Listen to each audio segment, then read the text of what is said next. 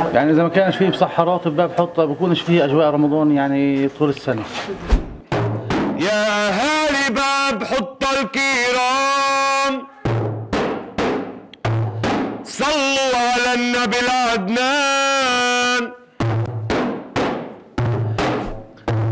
صلوا على النبي العدنان. يا نايم وحد الدايم. يا نايم العمر مو دايم. قبل ما يشقشق النهار ومع ساعات الفجر الأولى منرحب فيكم مشاهدينا نحن طاقم واس كام متواجدين في حارات البلدة القديمة واليوم أنا وإنتو رح نرافق المسحراتي بهاء نجيب وتحديدا في حارة باب حطة. رح نشوف كيف كل يوم خلال الشهر الفضيل بقوم بسحر الناس ونشوف شو الصعوبات اللي بواجهها وشو رسالته إلنا. خليكم معنا. يا آل قراعين الكرام صلوا على النبي العدنان. يا أبو أحمد وحد الله. يا نايم وحد الدايم. يا حج أيمن وحد الله. أنا كمسحراتي اللي ما يقارب تسع سنين بسحر في حارة باب حطة. إيه، طبعا الفكرة طلعت مني أنا وزميلي حسام غوشة. إيه، كانت الف- الفكرة طلعت لأنه أول إشي ما كانش في مسحرات عنا. فطبعا هذه مش من مش إنه وراثة ولا إشي من أي حدا لا هذه فكرة بيني وبين زميلي. الأفكار بلشنا ناخذها وال... والأناشيد اللي إحنا منح... اللي أنا بحكيها باخ- باخذ من كل إنشودة مقطع معين أو جملة أو جملة معينة وبلش أحكي إيه، للناس اللي مثلا زي المدائح النبوية. أشياء بتخص طبعا شهر رمضان وأشياء بتخص السحور. إيه، منها ما يعني مثلا آه، صلوا على النبي صلوا. لولا النبي لن بنى جامع ولا صلوا. أرتجي ربي فيكفيني الرجا فهو الغفار. والنبي المصطفى بدر الدجى أحمد المختار. يا نايم وحد الدايم يا نايم العمر مو دايم. هذه من ال- الأشياء اللي بنحكيها. É, طبعا آه، هذه اللي ما يقارب أنا داخل في السنة التاسعة. آه، الناس طبعا آه، برغم إنه وجود التقدم التكنولوجي مثل المنبهات والساعات الأشياء الموجودة عندنا إلا أن المسحراتي هو إشي أساسي في شهر رمضان. لأنه بالنهاية المسحرات هو جزء من التراث الفلسطيني اللي مستحيل إنه إنه ينقرض. وراح نضلنا إن شاء الله إحنا ماشيين كمسحراتية على على سنوات طويلة إن شاء الله. آل بدرية الكرام. صلوا على النبي العدنان. وحدوا الله يا عباد الله. يا نايم وحد الدايم. يا مختار وحد الله. يا سامعين ذكر النبي على المصطفى صلوا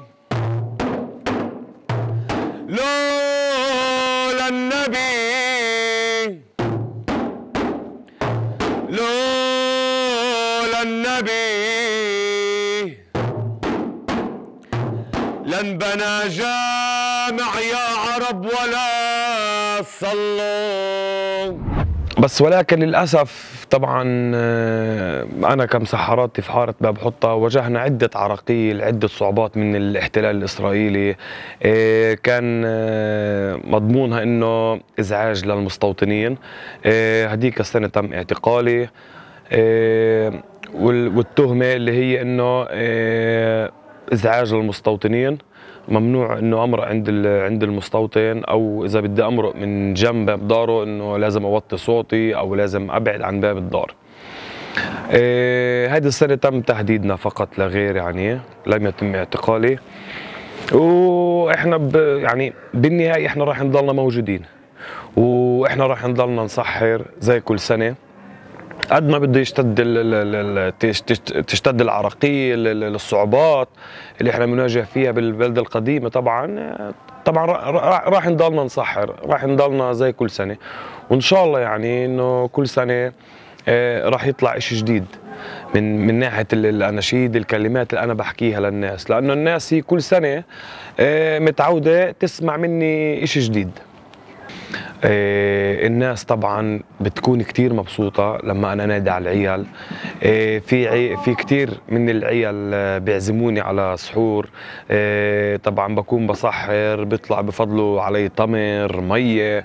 يعني الحلويات تبعون رمضان المعروفين. آه، غير هيك طبعا بتشوفي أنت إنه صار في نسيج اجتماعي.